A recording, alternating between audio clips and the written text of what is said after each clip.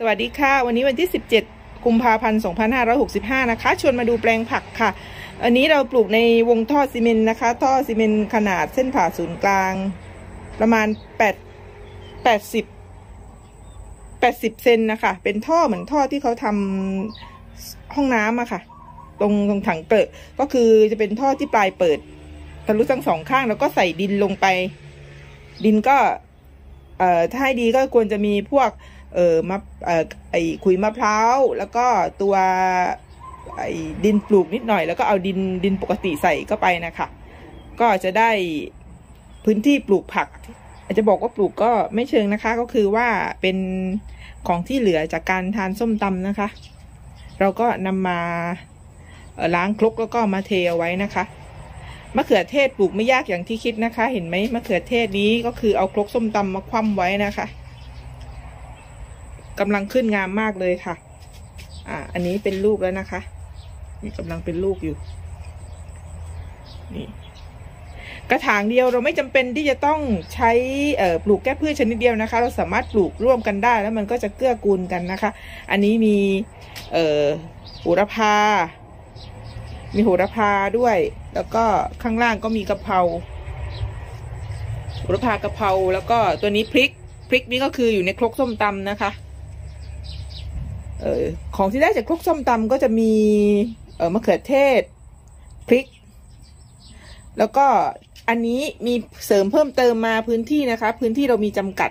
บ้านเออเป็นบ้านจัดสรรแล้วที่มันจะจำกัดเราก็สามารถจะปลูกผักได้นะคะ ตัวนี้เป็นอัญชันนะคะ เอาวิธีการปลูกไอปลูกอัญชันง่าย ๆ เลยก็คือ เราเอาตัวเม็ดอัญชันนะคะ แล้วก็ใส่ในในกล่อง ใส่กล่องที่ปิดฝาได้แล้วก็เอาเอาทิชชู่ทิชชู่เอ่อรองฉีดน้ำพรมแบบพอชื้นๆแล้วก็เอาเม็ดใส่ลงไป เอาไปใส่ตู้เย็นไว้นะคะ ตู้เย็นชั้นผักอะค่ะ แล้วก็อีกวันหนึ่งก็เอามาตั้งไว้ที่รับแสงแบบว่าอย่าให้จัดจัดแค่โดนแสง แล้วก็เดี๋ยวสักสองสาวันมันก็จะงอกรากขึ้นมา เวลางอกรากขึ้นมา เราก็สามารถที่จะเอามาฝังแล้วมันก็จะขึ้นขึ้นง่าย ๆ อย่างนี้เลยค่ะ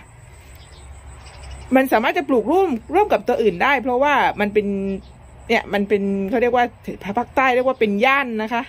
มันจะเป็นเถาแล้วมันก็จะขึ้นไปอยู่ที่ริมรั้ว ส่วนพืชตัวอื่นก็อยู่ในนี้ไปก็คือเราสามารถที่จะปลูกร่วมกันได้ โดยพื้นที่จำกัดก็สามารถปลูกได้หลายชนิด อันนี้ดูดิคะมะเขือเทศปลูกง่ายมากเลยค่ะ ลองปลูกกันดูนะคะ เวลากินแล้วสบายใจ เพราะว่าเรามั่นใจว่าเออเราไม่ได้ใช้สารเคมี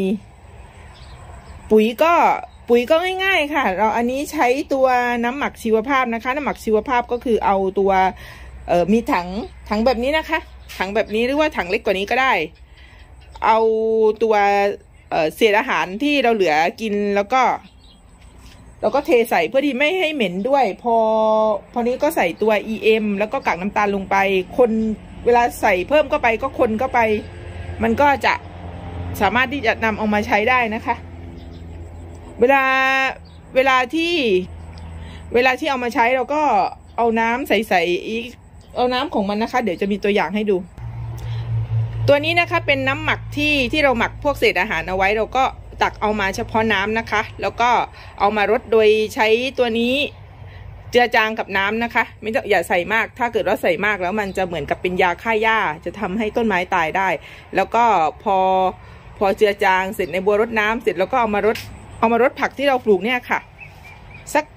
อาทิตย์สองสักอาทิตย์หนึ่งรดสักครั้งหนึ่งก็ได้ค่ะที่ผสมตัวนี้หรือไม่ก็สักสิบวันอะไรเงี้ยแล้วมันก็จะงามมากเลยค่ะ เราจะชื่นใจมากเลยที่มีผักงาม แล้วก็ปลูกกินเองสบายใจ เก็บกินได้เลยอะไรอย่างเงี้ยไม่ต้องกลัวสารเคมี เพราะว่าเดี๋ยวนี้คนก็ใช้สารเคมีกันเยอะ เพราะว่าตัวเวลาเขาปลูกเยอะๆมันจะมีตัวศัตรูพืชมาอาศัยอยู่อะค่ะ ก็ลองปลูกกันดูนะคะ ง่าย ๆค่ะ ได้ผักกินไม่ต้องไปซื้อเยอะ ได้กินเยอะมากเลยค่ะ เดี๋ยวจะอัปเดตเรื่อยๆนะคะ มีปลูกผักหลายชนิดอยู่ค่ะ